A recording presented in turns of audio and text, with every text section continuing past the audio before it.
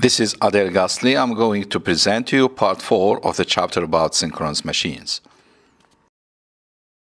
In this part, I will cover the following topics equivalent circuit model and synchronous generator, phasor diagram, voltage regulations, and power flow and efficiency. Let us start with the equivalent circuit of a synchronous generator. We'll cover the synchronous motor in the next part. As we have seen in the previous part, the excitation current IF generates a field flux phi F. When the rotor is rotating, a back EMF EF is induced inside the armature winding. When the armature of the synchronous generator is loaded, an armature current IA flows in the armature winding and the load. This armature current produces an armature flux that is split into a leakage flux phi AL and an armature reaction flux phi AR. The armature reaction flux induces a back EMF EAR in the armature. Since the resultant flux in the air gap is the sum of the field flux and armature reaction flux, the resultant air gap voltage ER is equal to EF plus EAR. Thus, the equivalent circuit of the synchronous generator can be drawn as shown here. Notice that the open circuit armature voltage is different from the loaded armature voltage because of the armature reaction effect. Notice also that the armature reaction voltage opposes the induced field voltage. In the rest of this chapter, we'll consider only cylindrical rotor type synchronous machines. Now, considering an equivalent armature reaction, reactance XAR, we can write the induced armature reaction voltage as minus JXAR multiplied by IA. Note that the minus sign accounts for the fact that the armature reaction opposes the field EMF EF. So we can represent the vectors of the armature current, armature reaction flux, and armature reaction voltage in the phasor form as shown in this figure. Notice that the induced EMF is always in quadrature and lagging the flux that caused it. From the resultant air gap voltage equation, we can obtain the excitation voltage EF as shown here. Because of the leakage reactance, there will be a further equivalent voltage drop inside the armature, leading to this equation of the armature voltage. This can be represented by this additional circuit. Moreover, accounting for the voltage drop across the armature winding resistance RA, we can obtain the terminal voltage as given by this equation. This can be represented by this equivalent circuit. So as you can notice, there are different voltages at different levels of the air gap and armature windings. Considering the synchronous reactance equal XS, which is equal to the sum of the armature reaction reactance and the leakage reactance. And the synchronous impedance ZS equal to the armature resistance RA plus J multiplied by XS, which is the synchronous reactance. Then we can redraw the equivalent circuit as shown here, where XS takes into account all the fluxes, including the magnetizing and leakage flux produced by the armature current. So now we have a simple equivalent circuit that represents the armature of the synchronous generator. Typical per unit values that represent an order of magnitudes are given in this table, where smaller machines refer to tens of kilovolt amp power ratings and larger machines refers to tens of megavolt amp power ratings. The ranges of the parameters are provided in per unit. Recall that the per unit values of the parameters mean that we have one per unit voltage and one per unit current. So for instance, 0.1 per unit impedance means that if the rated current flows, it will produce a voltage drop of 0.1 or 10% of the rated voltage. In general, as the machine size increases, the per unit resistance decreases, but the per unit reactance increases. So the per phase equivalent circuit of the cylindrical synchronous generator can be represented as shown here. The voltage equations are developed here based on KVL. So RA here designates the armature resistance per phase, XS designates the synchronous reactance per phase, EF designates the generated EMF per phase, VT designates the generated terminal voltage per phase, and IA is the armature current per phase. To find the actual three-phase values of the voltages and currents, we need to consider the type of winding connection in star or delta depending on the case. To determine the equivalent circuit parameters, we need to conduct three tests. The open circuit test, the short circuit test, and the DC test. In the DC test, the DC resistance of the armature is measured. However, the effective resistance accounting for the skin effect and temperature must be deduced from the measured DC value by multiplying with a correction factor. This factor could be taken around 1.6. Let's see how the open circuit and short circuit tests are conducted and used for finding the other equivalent circuit parameters. We start with the open circuit test. During this test, the machine is driven at synchronous speed, excitation current IF is varied, and excitation voltage EF is measured. The open circuit characteristic EF versus IF is plotted as shown in this figure. Notice the linear region and the saturation regions of this curve. Now, the excitation voltage would have changed along this air gap line if there were no magnetic saturation effect in the machine core. During the short circuit test, the machine is driven at synchronous speed. Excitation current IF is varied, and average armature current value IA of the three phase measured short circuit currents is calculated. The short circuit characteristic IA versus IF is plotted as shown here. Note that the short circuit characteristic is a straight line. This is due to the fact that under short circuit conditions, the magnetic circuit does not saturate because the air gap flux remains at a low level. This can be explained as follows. Because the armature resistance is very small compared to the synchronous reactance, the armature current IA lags behind the excitation voltage EF by almost 90 degrees. The armature reaction MMF FA therefore opposes the field MMF FF and the resultant MMF FR is very small. The magnetic circuit therefore remains unsaturated even if both IF and IA are large.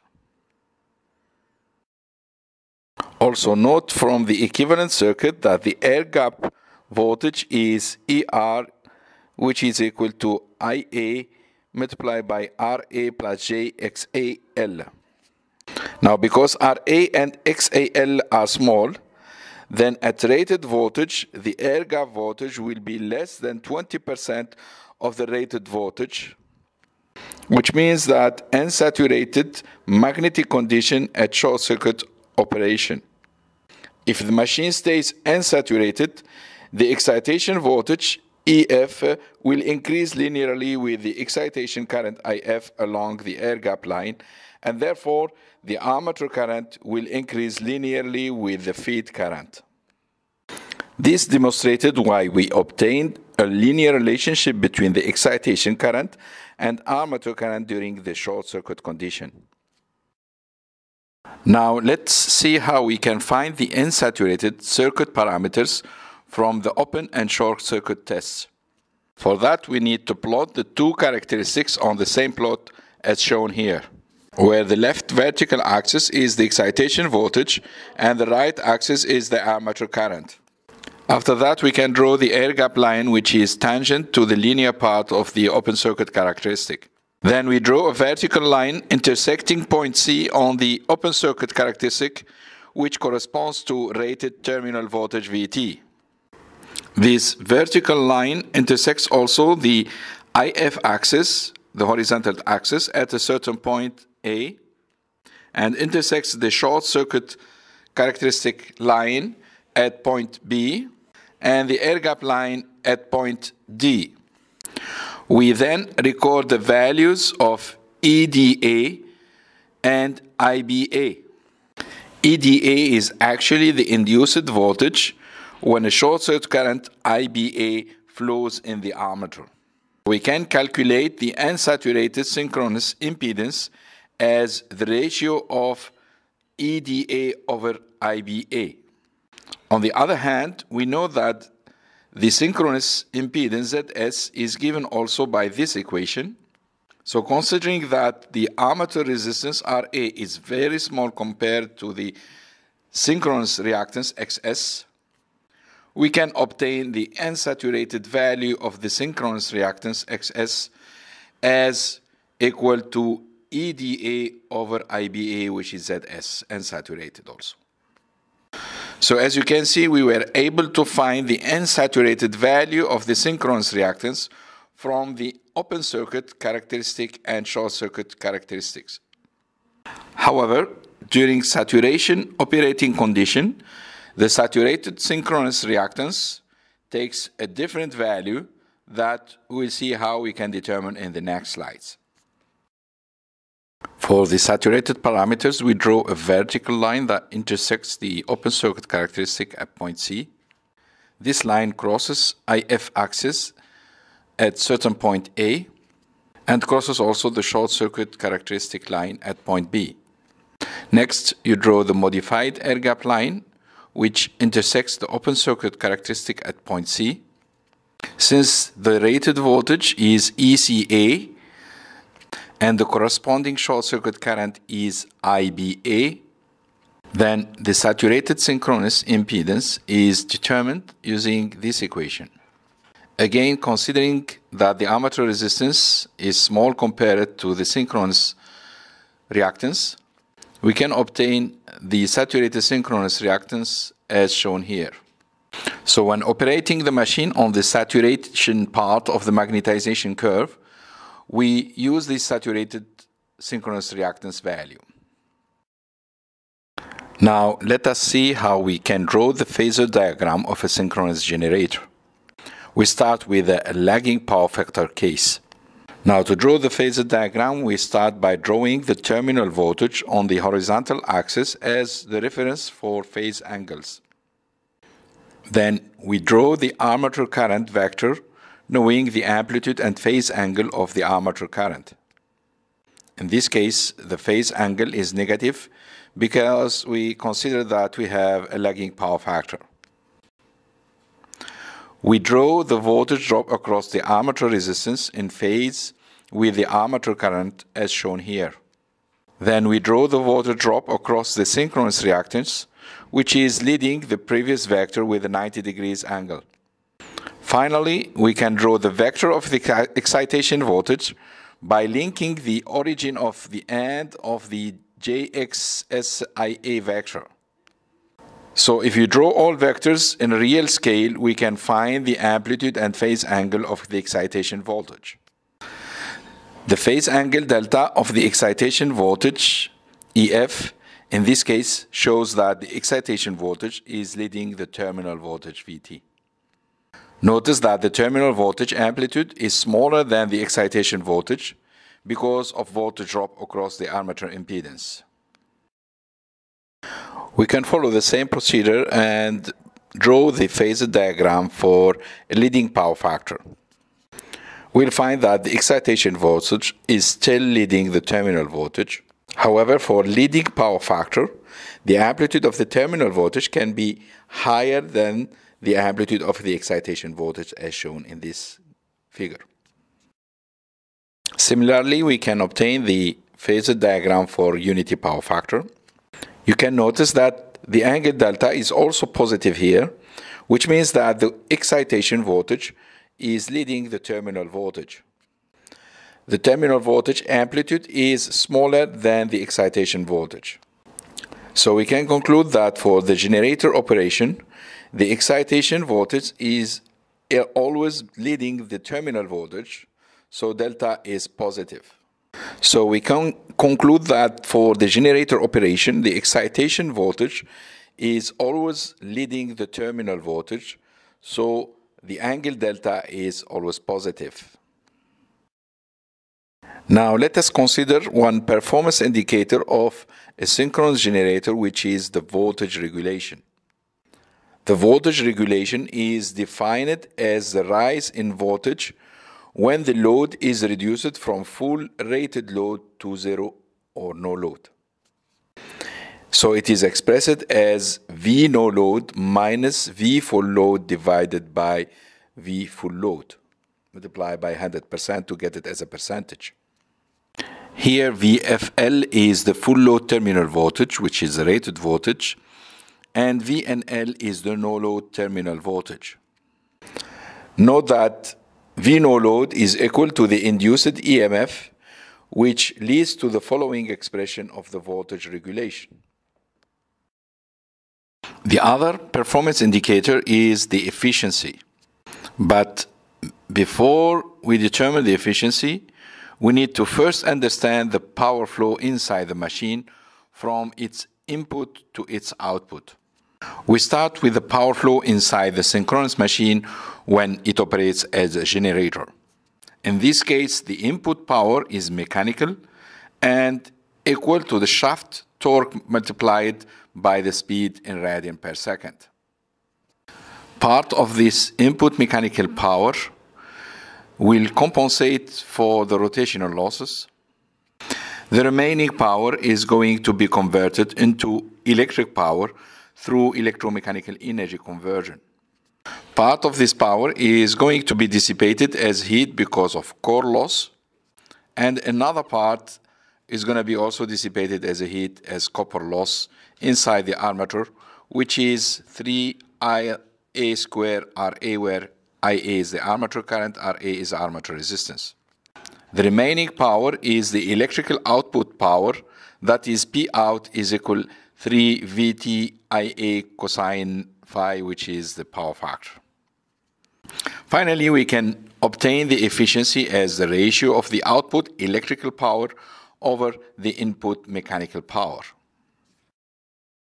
Moving to the motor operation, the input power in this case is electrical.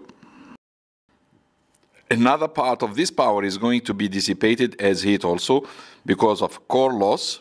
Then the remaining power is going to be converted into mechanical power through electromechanical energy conversion. However, part of this developed power is going to compensate for the rotational losses the remaining power is the mechanical output power that is on the shaft of the machine and developed for a mechanical load. Finally, the efficiency is the ratio of the output mechanical power over the input electrical power. This is the end of this part. Thank you for watching this video.